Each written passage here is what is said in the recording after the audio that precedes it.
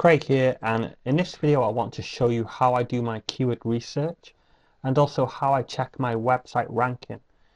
Now I'm going to show you how to do this for free. Now there are premium tools out there that you can purchase or you can pay a monthly fee for but I want to show you an option of doing this for free.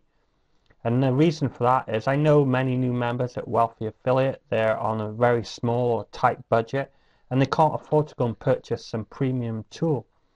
But when you're starting out, you don't actually need these premium tools. The way I do my keyword research is not that slow, and once you get the hang of doing it, well, it's pretty fast actually. And you know, I can come up with a whole list of keyword phrases that I want to target, and then I have all my keyword phrases for the week or month. So you know, I could spend, let's say, 30 minutes, get all my keyword phrases, and then I don't need to do any more keyword research. Think about it and make sure you spend your money wisely when it comes to purchasing premium tools. Now, before I get going, I want to point something out is with any keyword research tool, I never personally take the monthly search data for granted. I just use it as an indication that yes, there is some kind of traffic for this keyword phrase. And you know, because Google, they're only giving you an estimation, and most keyword tools out there, they get their data from Google. So everything is pretty much just an estimation. So if you find a keyword phrase and it says this search phrase gets searched 500 times per month, well, you know, it might not get searched 500 times. So I generally go with my gut feeling. So what I've started to do recently is keep track of all my keyword research. And I do that via Google Drive. Now, I'm always logged into one of my Gmail accounts and I have Google Drive activated on here. And what I do is I open up a spreadsheet. Now, this is just an example one for this video purpose. But I have a spreadsheet which contains a whole bunch of keyword phrases which I've either gone after or I just like the I, you know, I've collected the data and I may go after it one day. I'm not 100% sure but I like to keep track of everything so that I can return to this spreadsheet and see this keyword phrase and you know how many searches Google is telling me per month and Bing, what is a QSR and what is a video QSR. Now I'm going to come back to this at, uh, during the video so don't worry about that. So the one keyword tool I use all the time is Google's very own keyword tool.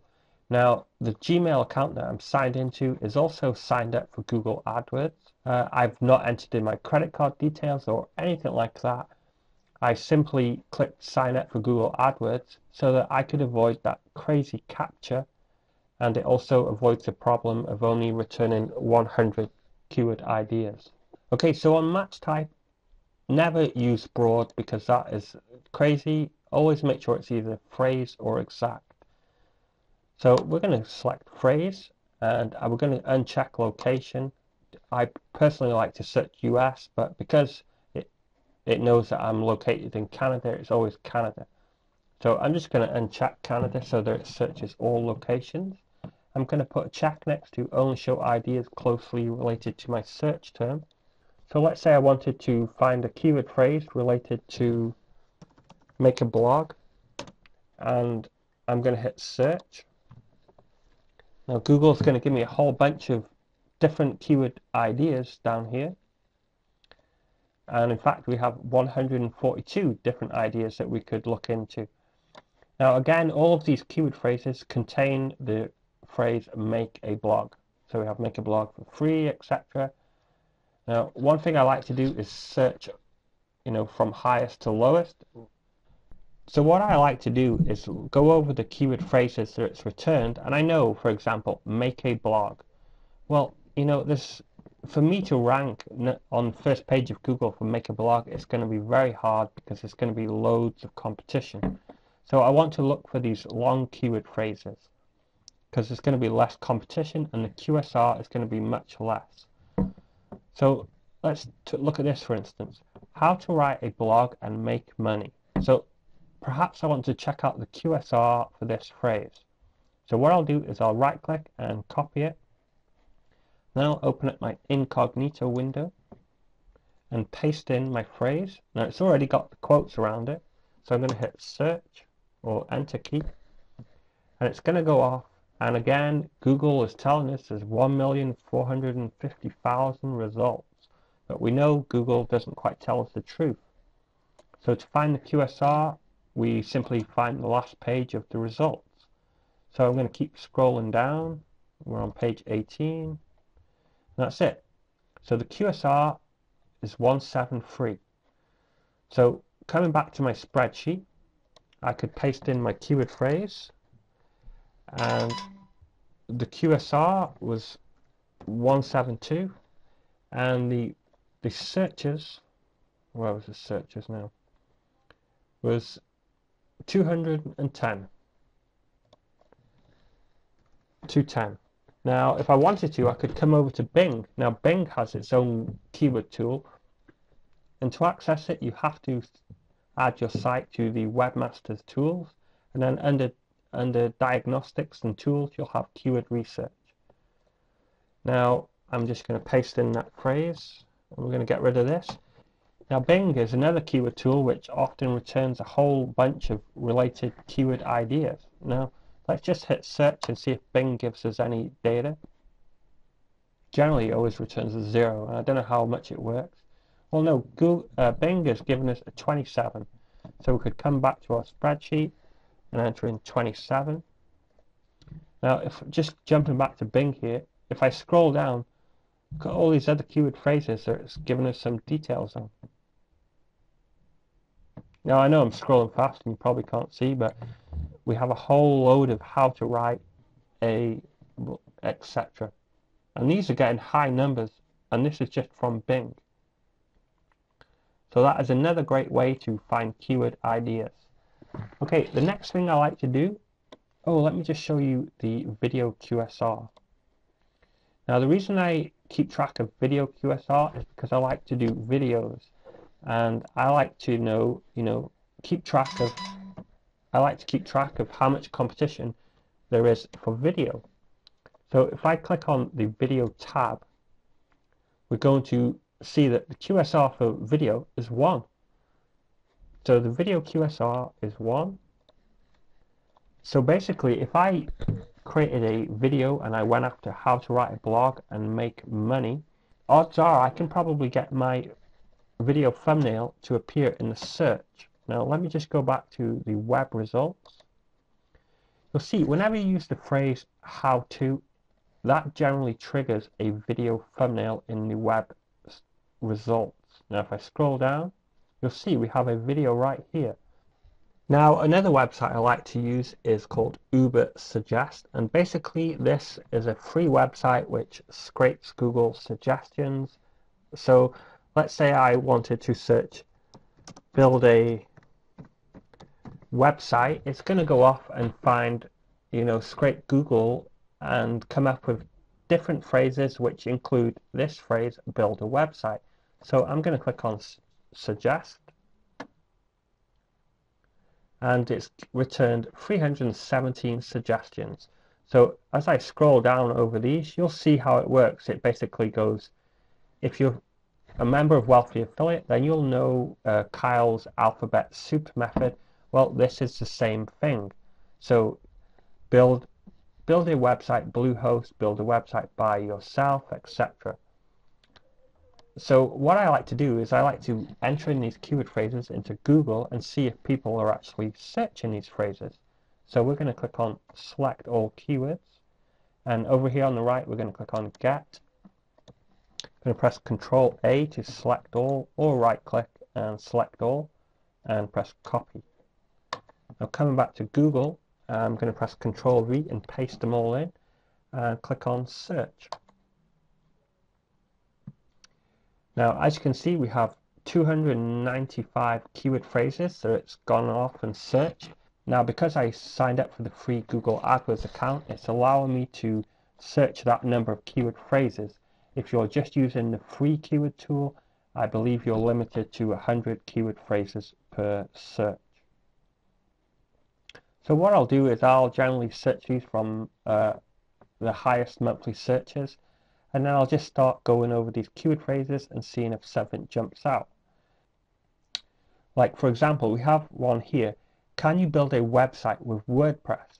Now, the reason people may be searching it is because they may think that WordPress is a blog. Now, basically, WordPress is a blog platform, but you can build websites and you wouldn't even know it was a WordPress platform. So what I'll do is, again, I will select my keyword phrase, right click and copy, come over to my incognito window, control V, paste it in, and my QSR is 4. Now, again, how many people are searching this? According to Google, 22. So let's go over to here. We'll paste that in.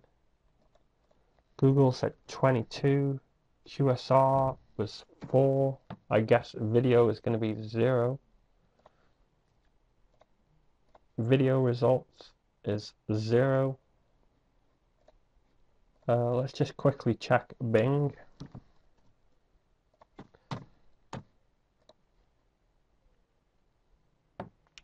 Uh, Bing returns a 0. And you know what? Let's go check a Jaaxy keyword tool. Now, I don't have a premium account here. This is just a free account. Let's paste these in. Hit search and see what Jaaxy tells us. Uh, Jaaxy's telling us there's eight monthly searches. And with Jaaxy, again, you can get the QSR by just clicking a button. And again, it tells us four. So before I wrap this video up, I want to show you how you can check your website ranking for free. Now, I'm using Chrome, and the only way to do it in Chrome really is to use the incognito window, because if you're signed into a Google account like Gmail, Google is going to give you some false ranking data because it's going to show you web results based on your search history, etc. So to open up a new incognito window, we click on that icon and new incognito new incognito window and we're going to enter in our search phrase. Now I know I'm ranked number one for wealthy affiliate hosting because I was I noticed somebody landed on my website the other day from searching that. So let's say I wanted to check where I was ranked for the term wealthy affiliate hosting. I enter it into my search, it goes off and it returns this. Now I can see that my domain name is right there but if I wanted to check, I could simply go over all of the results here. Or if I wanted to, I could press Control F and it brings up this search box. And I could just start to enter in my domain name and it would tell me, yeah, look, we found it here. Or we could simply go on to page number two and it's found it again there, etc. And you can keep going through page and page. Now there is another option too where you can change the search settings and you have to turn Google Instant off and you can also change it so that it shows more you know you can go up to 100 you can have it display 100 results per page but the only thing is this does some strange things sometimes and I haven't quite figured it out but you know basically you're going to see 100 results on one page but let me jump back to page one and show you something. Now, as you can see, it's got me ranked here, here, here, here, here. So something isn't quite right when you do it that way. Anyway, let me show you this last method before I wrap this video up. And the website is called what page of search am I on.com. Uh, it's a free uh, website.